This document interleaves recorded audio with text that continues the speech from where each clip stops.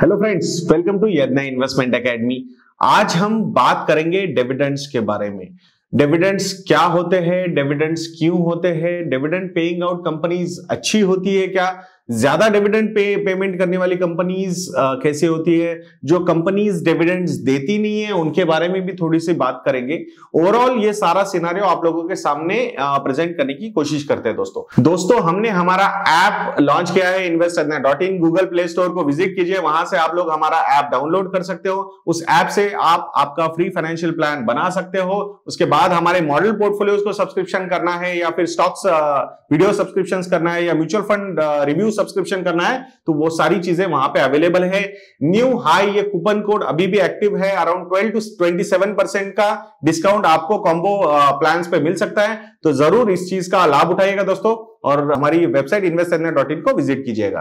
तो डेविडेंट्स क्या होते हैं? डिविडेंड्स यानी कि जो भी कंपनी ने अर्निंग्स कमाई हुई है प्रॉफिट हुआ है कंपनी को तो एज अ शेयर होल्डर आपको कुछ पार्टिसिपेशन डिविडेंड की तौर पे मिलता है। बहुत सारे प्रमोटर्स भी है इंडिया में, जिनका परसेंटेज स्टेक काफ़ी ज़्यादा होता है। नॉर्मली वो भी ज़्यादा डिविडेंड लेने का कभी कभी एक थॉट प्रोसेस उनका भी डेवलप होता है। कभी कभी उनको लगता है कि डिविडेंड डिस्ट्रीब्यूशन टैक्स पे करके हमने क्यों पैसा लेना चाहिए हाथ में? हम वो अर्निंग्स को वहीं पे इन्वेस्टेड रखते हैं। तो ये अलग अलग सिनारियोज होते हैं। तो पहले हम बात करेंगे अभी आप लोगों के साथ कि डिविडेंड्स कंपनीज़ क्यों पे करती है? सो so, ये जो एनालिसिस होगा आ, ये भी एक पर्सपेक्टिव आप लोगों के सामने ओपन कर, करेगा। और दूसरा होगा जो कंपनीज़ डिविडेंड पे आउट क्यों नहीं करती है?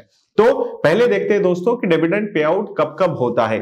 तो पहला डिविडेंड पे आउट तब होता है दोस्तों जब कंपनी को लगता है कि भाई ये जो प्रॉफिट्स मेरे पास आ रहे हैं, मेरे पास बहुत ज़्यादा ग्रोथ अपॉर्चुनिटीज़ अवेलेबल नहीं है कि ये जो पैसा अगर मैं खुद के पास रखूँगा तो ये कहाँ पे इन्वेस्ट करूँ? तो कोई ऑप्शन अवेलेबल नज़र नहीं आ रहा है। तो ये उनको लगता है कि it's better to give that particular amount to its share holders तो कंपनी डिसाइड करती है कि भाई शेयर होल्डर्स को ये पैसा दे दो, ताकि शेयर होल्डर्स भी हैप्पी रहेंगे कि चलो, बढ़िया है, अपने को अच्छा खासा डिविडेंड यहाँ पे मिल रहा है। तो ये एक पर्सपेक्टिव है कि जहाँ पे ग्रोथ अपॉर्चुनिटीज़ अवेलेबल अवेलेबल नहीं है, या फिर नई इन्वेस्टमेंट्स करने के लिए कंपनी के पास कोई ज़्यादा प्लान अवेलेबल नहीं है। दूसरा ऑप्शन क्या हो सकता है? कंपनी को लगेगा कि भाई, मेरे पास हर साल अच्छा खासा अर्निंग्स मतलब कैश फ्लो रहेगा फ्री कैश फ्लो काफ़ी सही रहेगा। तो मुझे कोई ज़रूरत नहीं कि मेरे पास ये जो पैसा आ रहा है वो पैसा मैंने इन्वेस्टर्स को देना चाहिए। आ, तो कोई प्रॉब्लम नहीं है मेरे पास क्योंकि नया कैश फ्लो मेरे पास आता रहेगा। जैसे कि एफएमसीजी कंपनीज़ को आप लोगों ने देखा होगा कि वहाँ पे उनको कोई प्रॉब्लम नज़र नहीं आता। इवन ऑयल मार्केटिंग कंपनीज़ के बारे में भी आप लोगों ने देखा होगा अच्छा खासा डिविडेंड डील वहाँ पे होता है। तो वो भी एक रीजन हो सकता है, उनको लगेगा कि भाई अर्निंग्स रिटेन करके क्या पॉइंट है? अगर कोई इन्वेस्टमेंट्स करनी भी है तो हम जो नया कैश फ्लो आएगा, वहाँ से इन्वेस्टमेंट कर सकते हैं। तो कोई ऐसा ज़रूरी नहीं है कि हमें बहुत ज़्यादा अर्निंग्स को रिटेन करना होगा। तो ये दो ऑप्शन हुए कि कभी कभी डिविडेंड दिए जाते हैं। तीसरा एक ऑप्शन है जो हमें इंडिया में काफ़ी कंपनीज़ फॉलो करती है, ऐसा लगता है। इंडिया में डिविडेंड्स के बारे में साइकोलॉजिकली एक काफ़ी पॉजिटिव सेंटिमेंट होता है। बहुत सारे जो पुराने इन्वेस्टर्स के साथ जिन्होंने, हमने इंटरेक्शन किए तो उनको डिविडेंड काफ़ी अच्छा लगता है। उनको लगता है, यार डिविडेंड जैसा इनकम नहीं है। अगर अच्छे खासे आप लोगों के पास शेयर है या फिर अच्छे खासे म्यूचुअल फंड यूनिट्स है तो उनको डिविडेंड जब आता है अकाउंट में तो उनको लगता है, यार, ये बहुत ही बढ़िया चीज़ है। ये टैक्स फ्री अमाउंट है। इस पर कोई टैक्स नहीं लगेगा। और मतलब एक टैक्स ना पे करने का एक जो सेंटिमेंट है इंडिया में वो काफ़ी स्ट्रांग है। बहुत बार हम, हमारे साथ डिस्कशन भी करते हैं हमारे इन्वेस्टर्स कि, सर टैक्स पे नहीं करना है। आप कुछ भी करवा दो इन्वेस्टमेंट ऐसे प्लान करवा दो कि टैक्स ना पे करना पड़े। तो ये सारा जो है तो वो यहाँ पे भी एक प्ले आउट होता है एंगल क्योंकि कंपनीज़ को लगता है, भाई, ठीक है, अगर थोड़ा बहुत परसेंटेज हमने दे दिया एज अ डिविडेंड यील्ड तो कोई ज़्यादा प्रॉब्लम होगा नहीं। अच्छा खासा अर्निंग्स हम रिटेन भी कर सकते हैं रिज़र्व अपने कंपनी के बढ़ा सकते हैं।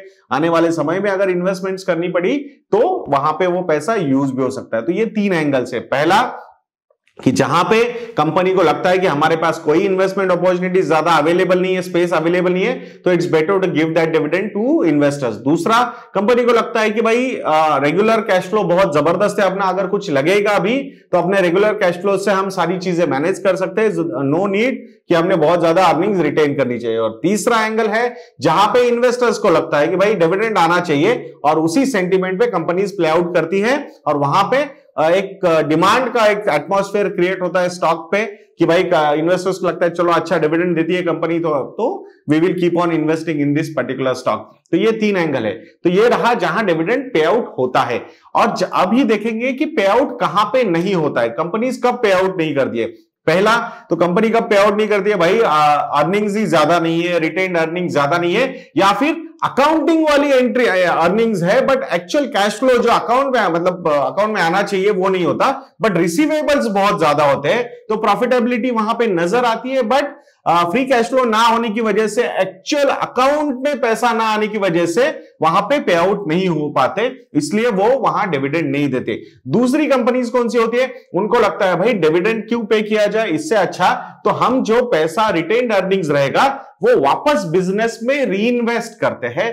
बिज़नेस में री करने की वजह से और ज़्यादा ग्रोथ अवेलेबल हो सकेगी एंड अगर ग्रोथ वहाँ पे आएगी प्रॉफिट्स के नंबर्स अच्छे दिखेंगे रेवेन्यूज के नंबर अच्छे दिखेंगे ऑपरेशनल एफिशिएंसी अगर ग्रो होती है तो ऑपरेटिंग प्रॉफिट मार्जिन ग्रो होते हुए नज़र आएगा। तो ये सारी चीज़ें कंपनी के लिए काफ़ी अच्छी हो सकती है। तो ओवरऑल नॉर्मली ग्रोथ फ़ेज़ में जब कंपनीज़ होती है, जहाँ पे बहुत सारे इन्वेस्टमेंट्स उनको करने पड़ते हैं, जैसे कि एग्जांपल के तौर पे अगर बैंकिंग इंडस्ट्री के बारे में बात किया जाए, कि बहुत सारी ऐसी बैंक्स है, जो नई बैंक्स आ रही है वहाँ पे उनको लगता है, भाई, हर एक स्टेट में हमें नंबर ऑफ़ ब्रांचेस आने वाले समय में बढ़ाते जाना है तो वहाँ पे कैपिटल अच्छा खासा लग सकता है तो वहाँ ये सारी चीज़ें यूज़ हो सकती है। तो ये दो सिनारियोज है कि जहाँ प्रॉफिटेबिलिटी है बट अकाउंटिंग में, यानी कि पैसा अकाउंट्स में आया नहीं है तो वहाँ पे डिविडेंड पे आउट नहीं होते, और दूसरा जहाँ पे कंपनीज़ को लगता है कि भाई अपॉर्चुनिटीज़ हमारे पास ही बहुत ज़्यादा है हम क्यों डिविडेंड दे? अगर लोगों को लगता है कि भाई इससे कुछ वापस पैसा लेना चाहिए प्रॉफिट बुकिंग करनी चाहिए so they can go to the market and sell their some percentage of stake या फिर शेयर सेल कर सकते हैं और वहाँ से वो प्रॉफिट बुकिंग कर सकते हैं बट हमारे पास अपॉर्चुनिटीज़ बहुत ज़्यादा अवेलेबल है तो ये सिनारियोज हो सकते हैं। तो अभी हम आप लोगों के सामने कुछ एग्जाम्पल्स बताएँगे जहाँ पे कहीं कहीं डिविडेंड यील्ड ज़ीरो है कोई पे, पे, पेमेंट नहीं किया है लास्ट पाँच सालों में कोई डिविडेंड नहीं दिया गया है इन्वेस्टर्स को बट ओवरऑल प्रॉफिटेबिलिटी की ग्रोथ काफ़ी सही रही है स्टॉक भी काफ़ी ऊपर गए हुए हैं तो ये सारी डिस्कशंस हम आप लोगों के सामने लाएँगे। तो पहले देखते हैं, ऐसी कंपनीज़ तीन कंपनीज़ के बारे में आप लोगों को बताएँगे, जहाँ पे डिविडेंड डील ज़ीरो परसेंट है बट प्रॉफिट ग्रोथ अगर आप देखोगे तो आपको लगेगा बहुत ही बढ़िया प्रॉफिट ग्रोथ और स्टॉक मार्केट में जो रिटर्न्स आए स्टॉक में, वो भी काफ़ी बढ़िया है। तो पहली कंपनी है एवेन्यू सुपरमार्ट्स तीन साल का अगर नेट प्रॉफिट ग्रोथ देखा जाएगा तो 41.101 परसेंट का है। फाइव ईयर का net profit growth around around same 41 percent का है। एंड डिविडेंड यील्ड है ज़ीरो परसेंट यानी कि एवेन्यू सुपरमार्ट को लगता है कि भाई डिविडेंड देने से अच्छा मैं और नंबर ऑफ़ स्टोर्स यहाँ पे ओपन करता जाऊँगा। अगर यहाँ पे नंबर ऑफ़ स्टोर्स और बढ़ते जाएँगे तो सेल्स बढ़ता जाएगा सेल्स बढ़ता जाएगा ऑपरेटिंग प्रॉफिट के मार्जिन अगर ग्रो हो सकते हैं एफिशिएंसी से ऑपरेशनल एफिशिएंसी इंक्रीज होती है तो तो उससे और ग्रोथ मिल सकती है नेट प्रॉफिट में ग्रोथ मिल सकती है तो it's better to reinvest those earnings in that business itself तो ये एवेन्यू सुपरमार्ट का एग्ज़ाम्पल है। दूसरा एग्ज़ाम्पल है क्रेडिट एक्सिस ग्रामीण ये जो एक माइक्रो फाइनेंस इंस्टीट्यूशन है एनबीएफसी है तो इसका भी अगर आप तीन साल और पाँच साल का प्रॉफिट देखोगे तो रिस्पेक्टिवली 57 एंड 81 परसेंट का तीन और पाँच साल का नेट प्रॉफिट ग्रोथ है तो ये काफ़ी बढ़िया ग्रोथ है। इसका भी डिविडेंड यील्ड अगर आप देखोगे तो ज़ीरो परसेंट है। लास्ट वन ईयर में हमने देखा है मोर देन हंड्रेड परसेंट के रिटर्न इस पर्टिकुलर स्टॉक ने हमें दिए है। तो आप लोग समझ सकते हो कि जो प्रमोटर्स है, उनको लगता है कि भाई री इन्वेस्ट करना ही सही रहेगा और ग्रोथ और पॉसिबल है, क्योंकि ये इन वे देखा जाएगा तो small and mid cap stocks है तो ग्रोथ यहाँ पे बहुत ज़्यादा अवेलेबल है। तीसरी कंपनी अगर कोई है तो थ्री इंडिया एमएनसी कंपनी है, 75 परसेंट का प्रमोटर का स्टेक है कंपनी में। अगर प्रमोटर चाहे तो अच्छा खासा डिविडेंड पे आउट ले सकते हैं but promoter is not expecting at all वो बोल रहे भाई री करते रहो और जो रिज़र्व है, उससे और ज़्यादा बिज़नेस ग्रोथ करने की कोशिश करते हैं। तीन साल और पाँच साल का जो प्रॉफिट ग्रोथ है, वो around nineteen percent and forty nine percent respectively है।